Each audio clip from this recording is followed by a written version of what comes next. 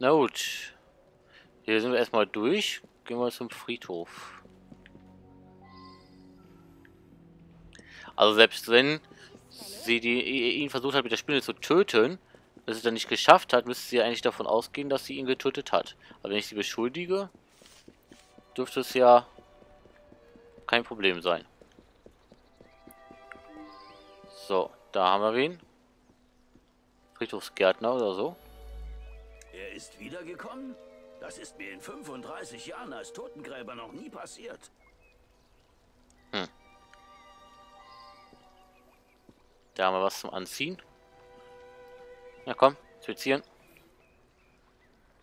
Ein alter abgetragener Mantel. In einer Tasche befindet sich eine zerknüllte Notiz. Hier ist die vereinbarte Summe für die Transaktion der letzten Nacht.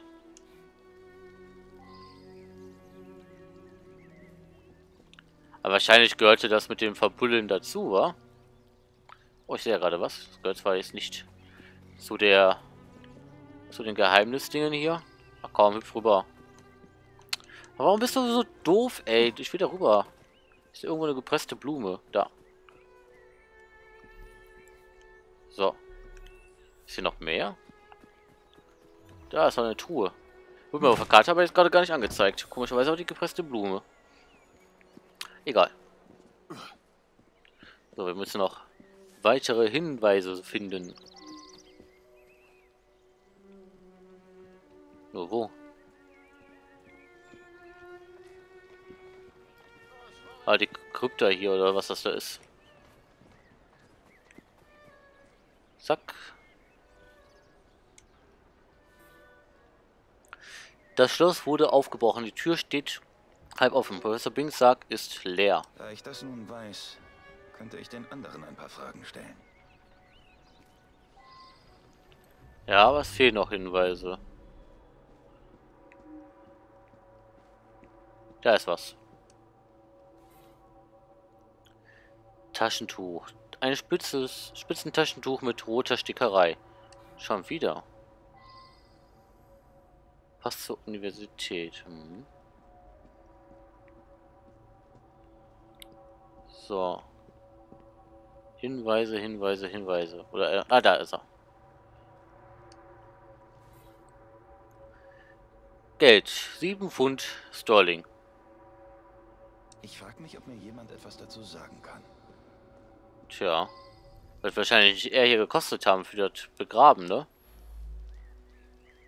Ich habe gesehen, wie der Sohn das Grab verschlossen hat. Ein Leichenraub? Sie beleidigen mich. Wenn ich erwischt werde, wäre ich im Handumdrehen im Kittchen. Natürlich sind sieben Guineen für einen wie mich eine Menge Geld. Ich bin ein bescheidener Mann und spare jeden Penny für schlechte Zeiten. Gut, ich verkaufe ab und an ein paar Leichen. Von irgendwas muss ich ja schließlich leben. Hab das Schloss geknackt und ihn in einer Karre hinter der Gruft gelassen. Es war dunkel, ich konnte nichts sehen, aber irgendein Kerl muss den Professor weggeschoben haben. Der Boden ist schlammig, vielleicht finden Sie noch ein paar Spuren. Ah. Danke. Da. Schlammspuren. Von hier nach da. Also wollte den jemand kaufen? Oder hat den jemand gekauft? Ich habe echt gedacht, der wäre tot. Dafür die Schlammspuren hin. Schnell hinterher. Pegasus. Oh, ein typischer Name für ein Pferd, oder?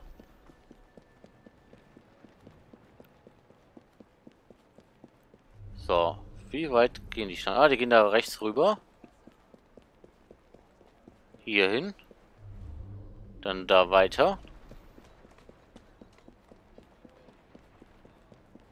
Glaube, hier sind auch noch mal welche.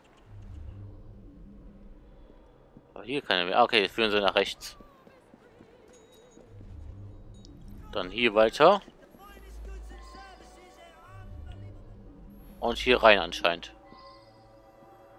Okay, hier haben wir einiges. Na, schauen wir mal.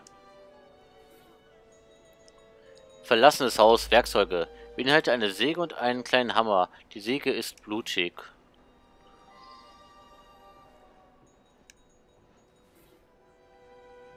Eine einzelne Seite, die aus einem Buch über die Pegasus-Stamm gerissen wurde. Sie beschreibt kriminelle Rituelle, die mit heiligen Masken, Weihrauch und Gesang verbunden sind. Tja. Da ist wahrscheinlich auch die Maske, die fehlt. Verlassenes Hausmaske. Eine geschnitzte Holzmaske eines Schakals.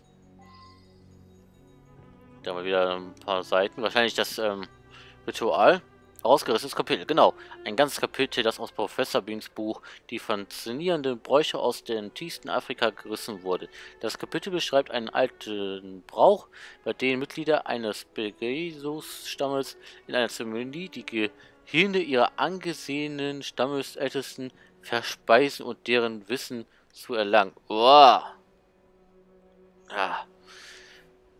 Toll, ey. Wir essen Gehirn, um das Wissen zu erlangen. Ich spinnen, ja. Haben wir hier noch mehr? Ja, da müssen noch mehr Hinweise sein. Ah, da, da. Ein ganz kleiner. Was haben wir da? Asche. Ein Häufchen kalter Asche, die einen wohlriechenden Duft verströmt. Hm. Ein Hinweis fehlt mir aber immer noch.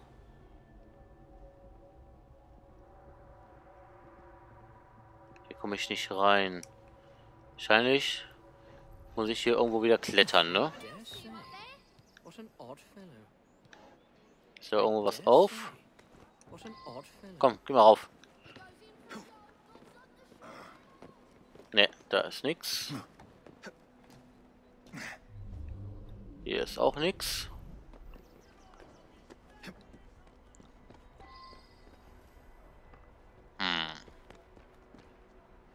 Upsala. Na komm, runter. Runter. Okay, weiter irgendwo rein. Aber jetzt bleibt doch mal endlich unten, ey. Einmal. Einmal will ich erleben, dass sie das machen, was ich will. Ne, hier ist auch nichts. Wo ist denn jetzt der letzte Hinweis? Ach, hier. Ah, das ist die Brille. Ah, der hat doch die Brille verloren. Gewöhnliche Brille in zwei gebrochen. Ah, ja. Also schnell zur Universität. Äh, nee, nicht das Haus. Wo ist die Uni? Da hinten. Naja, wolltest du also mit dem das Ritual machen? Wolltest du ihm sein Hirn auffressen oder was? Verdammter Spinner.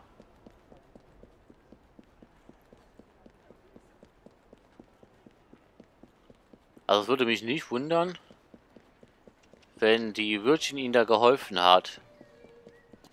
Die wollte ich ja eh loswerden.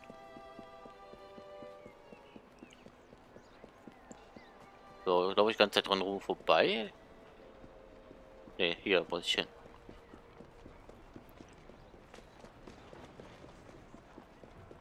Ah, hier sind noch mal hier so Dingens. Können wir eben mal mitnehmen. Wenn wir schon mal hier sind. Einmal hier rum. Dung. Und hier.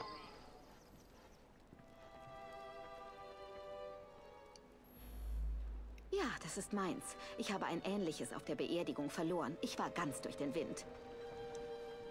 Ja, ja, ist klar. Nervös warst du wahrscheinlich eher. Weil er hier die Gehirne essen wollte. Nee, nicht er. Der andere. Ein geschätzter Kollege? Nein.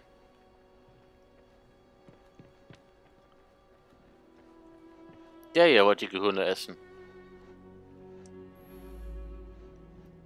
Ich reiste vor kurzem nach Afrika, um die Erforschung des Stammes weiterzuführen. Hm. Was muss ich denn jetzt machen?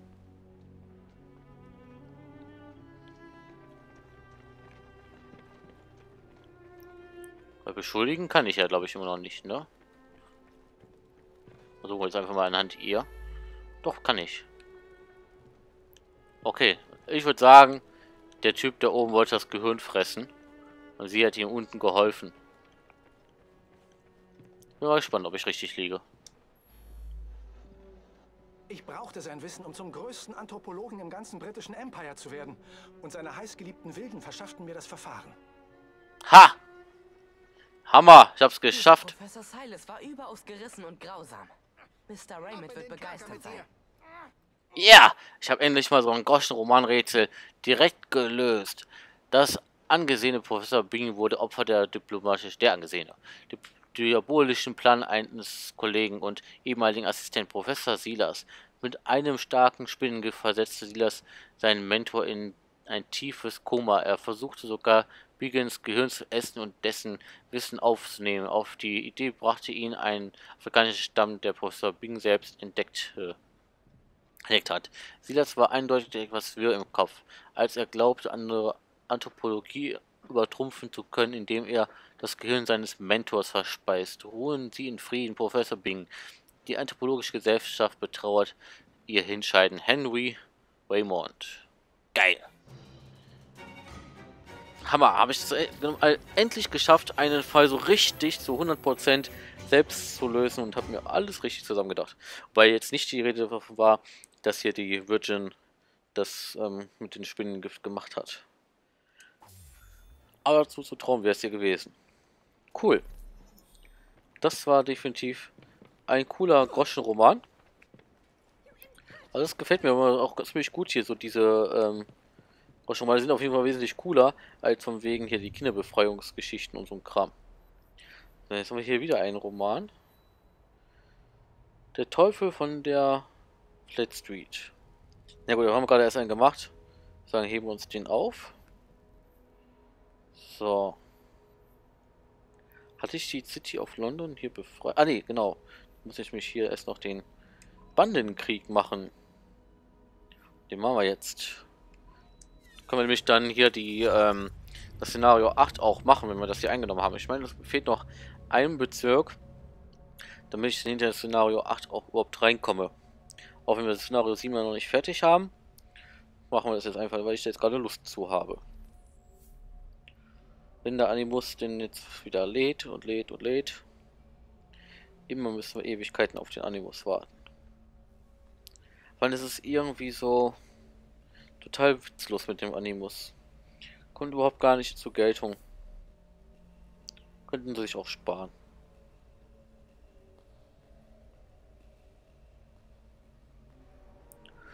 Ja, ja. Komm, lad schneller. Laufen jetzt die ganze Zeit im Kreis. Herr Paps, haben wir noch gar keinen einzigen von gekauft, ne? Könnte man ja vielleicht mal machen.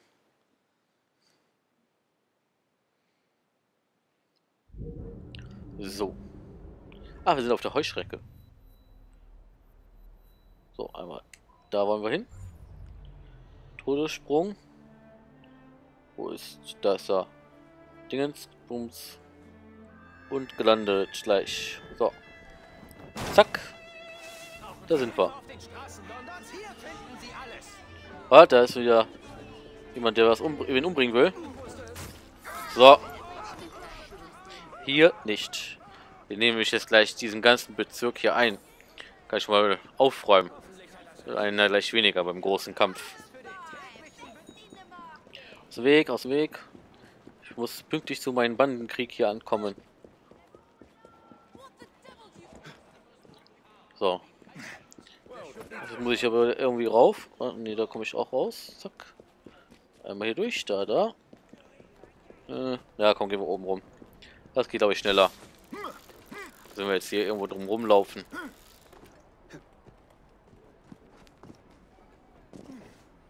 Na, komm schon. Darüber. Da hinten ist wieder unser Zug oder zumindest irgendein Zug. Der ist unser Zug. Hallo Zug. Schön, dass du uns so begrüßt, aber zu dir wollen wir jetzt gerade gar nicht. Wir müssen jetzt hier unser Bezirk einnehmen hier. So, hallo, Achtung. Das doofe Pferd, geht doch mal aus. Wollt ihr mich hier verarschen? Dieses doofe Pferd da, ey.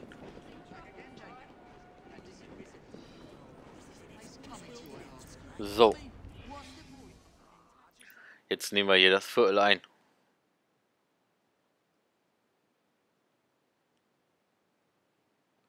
Och Mann. Lad doch schneller. Komm, komm, komm, komm, komm. Schneller, schneller, schneller. Kann man sich echt überlegen, ob man sich doch eine Playstation 4 Pro holt. Aber ich habe ja gerade mal eine Playstation 4 ein Jahr, würde ich mir keine Pro jetzt holen. Das macht nicht wirklich viel Sinn. Aber es nervt einfach, dass er so lange laden muss. Ich würde sagen, dass ihre Chancen, den Kampf zu gewinnen, ohne Miss Nora gestiegen sind. Aber ich würde die Blighters auch nicht unterschätzen.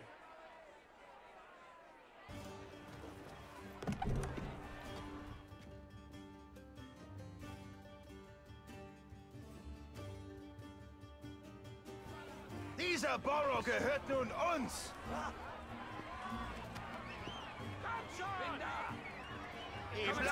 Ja, ja, komm. Zack. Zack. Einmal. Ah, die machen das da hinten schon. Kann ich hier, ach, ich kann hier gar nicht plündern, verdammt. Dann machen wir halt mal hier schnell klar Schiff. So, du auch noch. Erledigt. So, wo sind die nächsten?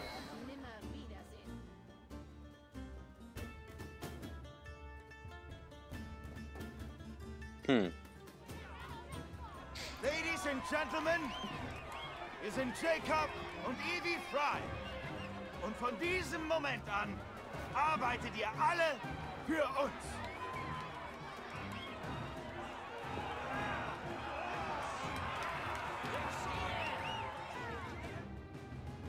Tja. Also, weil wir den Boss schon gekillt haben, war es jetzt noch viel einfacher. Cool. Erobert City of London. Neue Frequenz freigeschaltet. Ja. Das haben wir ja später auch vor. Aber. So, das war der andere Groschenroman, den wir eben schon gesehen haben. Wir sind jetzt hier. Ähm. Können wir weitermachen? Da können wir weitermachen. Aber ich wollte jetzt eigentlich mal nach der Hauptquest schauen. Wo ist die denn? Wo ist die denn? Da. Okay, wir sind hier. Würde ich sagen. Noch... Ah, komm. Kämpfen wir uns hier quasi wieder so durch. Ich habe ehrlich, ehrlich gesagt keine Lust, durch die Themse zu schwimmen. Schnellreise? Aber ich hier eine Schnellreise hin. Und dann decke ich da rechts lieber noch mal das da auf. Durch die Themse schwimmen, das finde ich irgendwie nur nervig. Wenn immer die gegen die Strömung und die ganzen Schiffe da immer im Weg. Das brauche ich jetzt echt nicht. Da kann ich lieber hier einmal Schnellreise machen. Ich glaube, da bin ich auch dann doch schneller mit bedient, als wenn ich dann jetzt da rumlaufe. Aber ich muss halt abschätzen, was halt mehr Sinn macht. Aber da war jetzt auch nichts irgendwie auf dem Weg groß einzusammeln, wo ich sagen könnte, ja gut, es lohnt sich da lang zu gehen, um noch einiges ähm, abzugreifen unterwegs. Dann halt eher so. So. Wieder den Late. Lad doch einmal schneller, ey. Aber nee. Wird dann nur zu schnell sein, ne? Na geht doch. Oder auch nicht. Du hast doch gerade erst geladen. So. Ne, deckt da runter. Und wieder schöner Todessprung. Tisch gelandet. So, wo war das jetzt hier mit dem Aufdecken? Da. Da gehen wir jetzt hin. Weil ich mir eben gerade gucken. Ist das hier oben? Ah, da ist noch ein Kampfclub. Den habe ich glaube ich noch nicht gemacht, oder? Gucken wir mal eben. Ist ja eh auf dem Weg. Können wir den Kampfclub auch noch machen, wenn wir den noch nicht gemacht haben. Noch ein bisschen EP und Geld. Können wir immer gebrauchen. Ah doch, den haben wir gemacht. Das war da oben. Dann decken wir das eben hier auf. Gucken wir uns dann das schon um.